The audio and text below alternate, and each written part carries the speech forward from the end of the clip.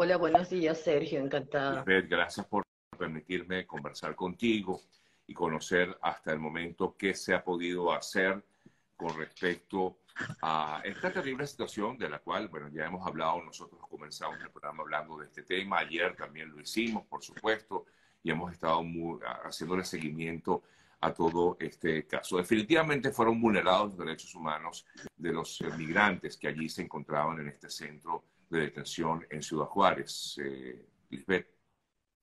Sí, total y absolutamente. Eh, vamos a empezar por un hecho que no debería existir la detención para personas migrantes, personas que no han cometido un delito. O sea, es una falta administrativa el no tener documentos, pero no es un delito. Y cuando hablamos de estaciones migratorias, que no son estancias provisionales, como quiere hacerlo llamar el Instituto Nacional de Migración de México, estamos hablando de cárceles para migrantes, lugares donde las personas se encuentran encerradas bajo llave, donde las condiciones son infrahumanas, donde las comidas que le dan es una comida que generalmente nos reportan que les causa daño que no les dan agua a tiempo, que no tienen los servicios básicos indispensables. Eso es violación. Discúlpame, eh, que tengo un problema con el audio. ¿Es factible que te quites los audífonos? A ver si mejoramos la, la, la, comunicación. ¿Me escuchas mejor ahorita? te escucho mejor así. Gracias. Ajá. Entonces, podemos asegurar que es un delito tener presos a los migrantes más aún cuando recientemente, hace como semana y media, cuidado dos semanas, hubo un pronunciamiento de la Suprema Corte de aquí de México donde prohibía mantener personas detenidas durante más de 36 horas. Habría que hacer en una investigación y saber realmente cuánto tiempo tenían estas personas detenidas. Incluso tenemos reportes, y debes haberlo visto tú también en redes, de un señor que tenía su tarjeta de visitante por razones humanitarias, es decir, que tenía un estatus aquí en el país y sin embargo lo tenían detenido. Entonces, obviamente es un delito, obviamente es violatorio a los derechos humanos. Efectivamente, muchos de los migrantes se quejan de que son detenidos. Esto sería, ¿por qué razón, eh, Lisbeth? Es eh, una mafia que se maneja incluso con eh, las autoridades eh, mexicanas? Mira, ha pasado de todo. O sea, te puedo decir que efectivamente, incluso ayer mismo, y esto no viene de ahorita, desde hace mucho tiempo atrás, este, nos reportan que los mismos eh, funcionarios de migración detienen a las personas con un documento, bien sea una forma migratoria múltiple o con estas tarjetas de visitante por razones humanitarias, y se las rompen, ¿ok? Y los llevan detenidos. Entonces, aquí hay muchas cosas, o sea, esto da para hablar mucho, ¿no? Eh, muchas veces se pide dinero a cambio de que te dejen continuar muchas veces simplemente te lo rompen y te llevan a esa estación migratoria con el objeto de que tú vuelvas a hacer un procedimiento y a tratar de sacar un, entre comillas, permiso, porque no es un permiso para circular. Este, hay muchas razones que están escondidas detrás de esto. Ayer el presidente Andrés Manuel López Obrador afirmaba que eh, los propios migrantes habían sido los que habían originado este incendio. Haya sido así o no, en el sentido de que puede que hayan elevado una protesta, hayan querido protestar, eh, ¿se puede considerar como un crimen de lesa humanidad el haberles impedido salir del lugar? Así mismo es, o sea, yo creo que aquí se les olvidó que eso es un crimen de lesa humanidad. Que en el video que está circulando y que ya lo ha visto mucha parte de la población, no solo aquí, sino en el mundo, se ve claramente cómo las personas estaban encerradas y había tiempo de abrirles la puerta para que salieran la reja y no se hizo. Eso es un asesinato descarado, vil. Eh, se ha informado de un importante grupo de personas de origen venezolano en el lugar. De hecho, tengo información de que había 13 venezolanos allí. Algunos de ellos están heridos. No sabemos tampoco la condición del resto. ¿Qué información tienen ustedes al respecto hasta ahora? Sí, efectivamente, lo último que se supo hasta altas horas de la noche es lo mismo que tú estás manejando en estos momentos. Este, hay cuatro personas, si mal no me recuerdo, que están hospitalizadas, pero no se dice el estado de los mismos.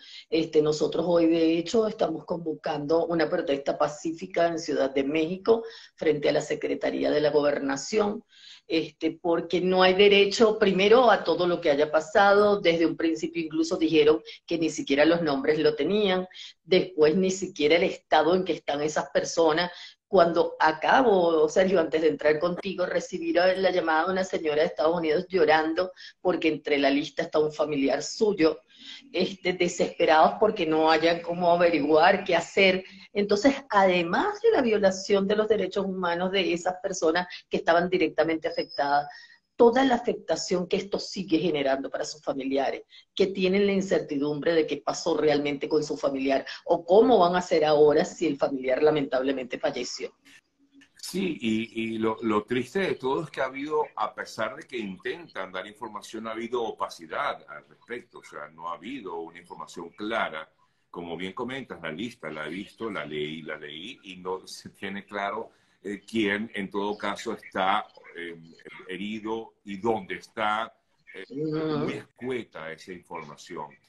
no sé si es que quieran ocultar, ocultar algo, Lisbeth. Mira, yo no sé entre tantas cosas, obviamente una de las cosas que a nosotros nos indignó más fueron las declaraciones ayer del señor presidente. Porque como bien dices, o sea, independientemente del hecho de que se haya sido provocado, no, no estamos hablando, bueno, es que hasta los animalitos son seres vivos que tienen derecho, ¿no? Entonces, ¿de qué hablamos aquí? Cuando tú quieres eh, evadir tu responsabilidad como Estado, donde vemos que entre el secretario de la gobernación, quien por estructura es el responsable de migración, y el secretario de Relaciones Exteriores se lanzan la pelotita de quién es el responsable o no, cuando creo que este no es el tema exactamente. Un comunitario es político también allí, y todo el mundo quiere como que ganar algo en medio de todo esto. y además, y con mucho dolor, Sergio, también, claro, no, no, tenemos mucho que esperar, lamentablemente, como vemos el pronunciamiento de consulados de, de, por ejemplo, Colombia, del Ministerio de Relaciones Exteriores de Guatemala y nuestro consulado, mutis bien gracias. O sea, hasta el momento ningún pronunciamiento al respecto. Sí, de hecho, tanto el gobierno de Guatemala como el gobierno de Honduras, eh, entre otros, son, han publicado la lista de las personas eh, fallecidas y heridas, pero del gobierno venezolano no sabemos nada, o mejor dicho, de los venezolanos es poco lo que realmente eh, sabemos, a, excepción de lo que puedan hacer algunas organizaciones como la de ustedes. Y de hecho, créeme que ayer mismo, apenas supimos de la noticia, le escribimos directamente a la embajada pidiéndole por favor que iban a hacer, que necesitábamos esta confirmación de la lista, no se sabía en ese momento los nombres, este, y no tenemos respuesta hasta el momento. Pues. Eso es lo más triste. En todo caso, eh, el trabajo de ustedes allí en México, eh, ¿cuál es? Bueno, Apoyo a Migrantes Venezolanos tienen ya más de seis años funcionando aquí en México. Somos una organización sin fines de lucro que apoya de manera totalmente gratuita no solo a nuestra comunidad, sino a cualquier persona en contexto de movilidad que nos pida ayuda.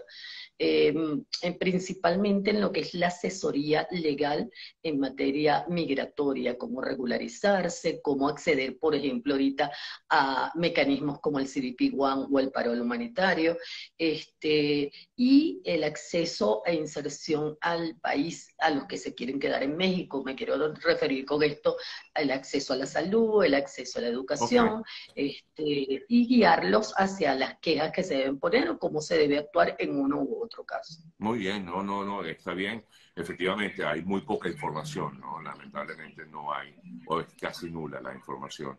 Y le agradezco a ustedes como organización, pues, el hacer este tipo de trabajos.